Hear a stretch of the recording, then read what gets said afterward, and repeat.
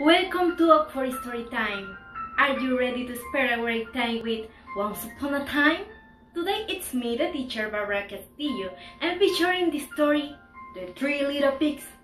Hope you like it. The Three Little Pigs. There was once a mother pig who had three baby pigs. They grew up and got bigger until the mother pig had to say, You need to go and build houses for yourself. But be careful. There's a wolf out there, and you won't want to him to catch you. The little pig set off, telling their mother, We will be careful. While they were walking, they came upon a man who was carrying some straw.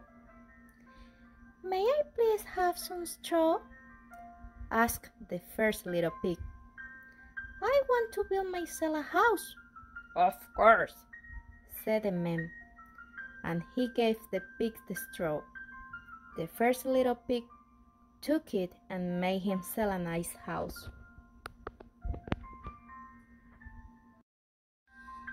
The other two pigs kept walking down the road.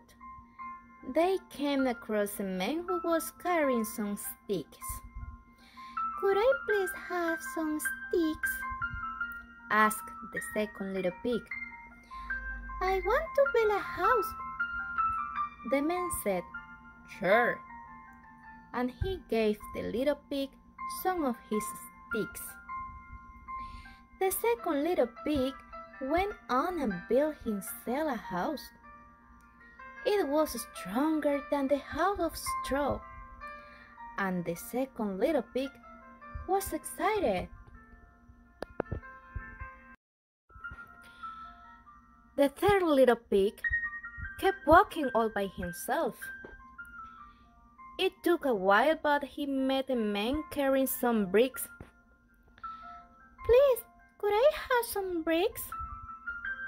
asked the third little pig. I want to build a strong house. Yes, said the man. The little pig built his bricks house, happy that it was so strong even if it took a lot longer to build. The next day, the wolf came down the road. He saw the half of straw that the first little pig built and went right up and knocked on the door. He said, little pig, little pig, let me come in. No, said the pig. Not by the hair on my shiny chin chin. Then I huff, and I puff, and I blow your house in, said the wolf. And he huffed, and he puffed, and he blew the straw house right over. The pig had to run as fast as his leg would carry him to the second little pig's stick house. The next day, the wolf walked further down the road. He came upon the stick house. He knocked on the door and said, Little pig, little pig, let me come in. No, said the second little pig. Not by the hair on my shiny chin chin.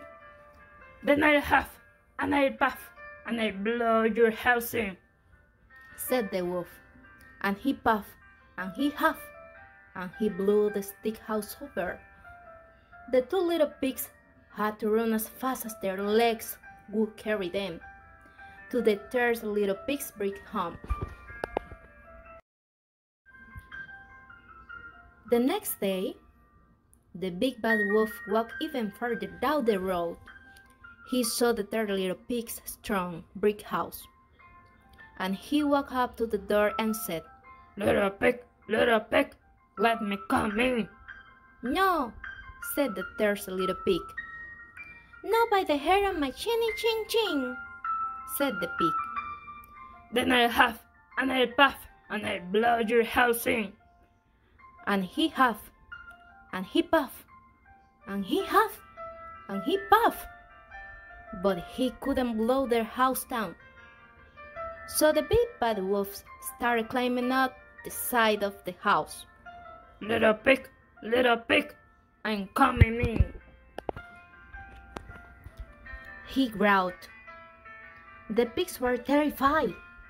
What were they going to do? The third little pig did the first thing he could think of.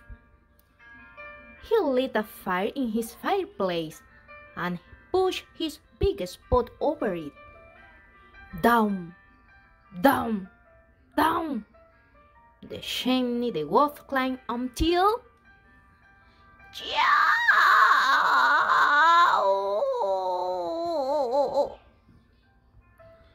The big bad wolf scalded his rear on the hot pot and scrambled back up the chimney down the street and never bothered the three little pigs again. Thanks for watch.